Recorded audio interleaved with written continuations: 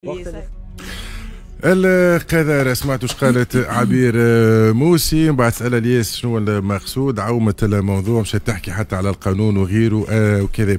آه العدد للممارسات هذه في حق الإعلام برهان اللي تقريبا بعد لكان أكبر مكسب الحرية والإعلام اللي يتكلم ويقول وش يحب كذا باش يعدوا باش اليوم بينظفرين الإعلام القصير اللي يتعدى يقول شي يحب يتهم الناس كل باللي يحب ولا حياة لمن تنادي ولا حتى حد يدافع. أي واحد يجي أي سياسي كي الكل تهمش تحكي لا على صفحات لا على حتى شيء. سياسي يقعد بيك وعليك يحكي فيك في ندوات في كذا.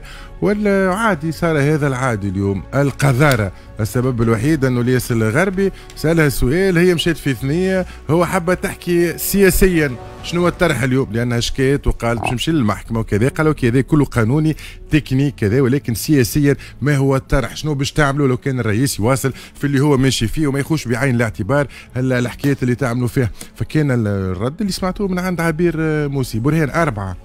علاش ولات آه، لأن ولات خطة عند برشا سياسيين من بينهم عبير موسي. آه، هاجم الإعلام آه، اشتم الإعلام. الإعلام بالطبيعة اللي اللي ماهوش على المقاس. ما تعرف السياسيين الكل هما في الحقيقة راهو الإعلامي المفضل ليهم. بالجد معناها وهذا لاحظته. السياسيين معناها أغلبية إلا من رحم ربك. هو الإعلامي اللي يجي يحاوره بالطريقة التالية. محمود البارودي مثلا مش نتحاور محمود. علاش انت باهي برشا يا محمود؟ قداش محلي هذا أحسن إعلامي. آه, آه هذا أحسن إعلامي. أو أحسن محلل أو أحسن معلق. انت محمود فسر لنا علاش ياسر جميل انت. فسر لنا علاش العباد تحبك وانت زعيم. فسر لنا علاش كذا. أما إعلامي يخدم خدمته في اطار النيونس اللي مطلوبة منه. أنا اليوم راه خلي يفهم الجماعه هذوما. خلي يفهم العباد اللي تصدق السياسيين هذوما. اللي يقدموا لكم في رواحهم على أساس ضحايا. ها وراهو راهو الإعلام مهمته. أنا في قرارة نفسي نبداش مقتنع بعبير ومن أنصار عبير. خدمتي في ال interview يلزمني نكنطرها.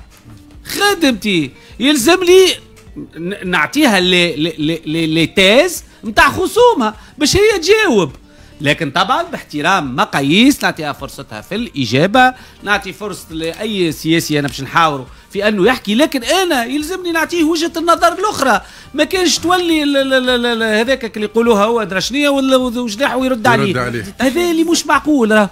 اليوم راهو حان الوقت خاصة الأطراف السياسية الحدية هذه اللي موجودة في الواحد. معروف راهو حتى في فرنسا في كذا تو ماري لو بين عملت استراتيجيتها زادة في الحملة الانتخابية. آه، ديما تعطي في الدروس للصحفيين وأنتم الإعلاميين منحازين وأنتم ما تخليوناش c'est classique ça. وفي المناخ اللي عموما معادي للإعلام بالغريزة. آه آه إعلاميين أنتم بتظهروا أنتم عندكم ميكروات أنتم آه بيكم وعليكم متابعين لدرا شنو بالتالي كي نهجم عليهم نحقق نقاط. أعتقد الاستراتيجية هذه قد تعطيك في نص الطريق بعض النتائج الإيجابية. لكن في الأخر باش تخرجك خاسر. لأنه اللي جربوها الكل في العالم. ترامب انظر شو عمل ترامب؟ مع الاعلام اللي هذوما العباد انظر ماري لو بين. قبلها بوها جون ماري لو بين. في الأخر في الأخر يشيخوا عليك أنصارك. والله برافو أنصارك خاطر هذوك virage ماشيين معاك مغمضين عينيهم وعاملين صوابعهم في في ودنيهم. لا يهمهم لا يسمعوا لا طرح عقلاني ولا طرح يقبل العقل. هذوك يمشيوا معاك في نص الطريق. وال... لكن في الآخر آه. في الآخر راك باش تطلع خاسر والمقلق أنا طلبوني عشر مرات. يطلبوك؟ ما تجي تحكي. وكي ما يطلبوكش ما يستدعاوكش. تخرج في خالد بن باشا وتقول الاعلام ما استدعونيش. ونسبة الحضور نتاعي 3% و6% والحسب الدراسات وغيره كذا واللي عملناهم وغايبين من البلاتوات عادي بالعكس طلبوك وكبروا بيك وأصروا على أنك تكون حاضرة. باعتبارك رئيس حزب يوزن اليوم في البلاد حسب استطلاعات الرأي. أما هالتاجيش مش أول مرة. عبير موسي راهو في الشارع تتسمي العباد وتسمي في العباد وهذا والناس الكل تابعين المنظمات درا شنو والناس الكل تاخذ في الفلوس والناس الكل عندها أجندات. تقريبا أتمنى يا سيدي هاو نقلبوا هاو لانسي عبير موسي سمينا العالميين نضاف سمينا البلاتوات اللي تراهم انت محايدين. هاو سهل العملية. ما عادش سمينا شكون الكل خايبين. سمينا شكون الإعلاميين انضاف اللي تراهم أنت عندهم مصداقية. سمينا chroniqueur يعجبك animateur يعجبك باش نفهموا المقياس.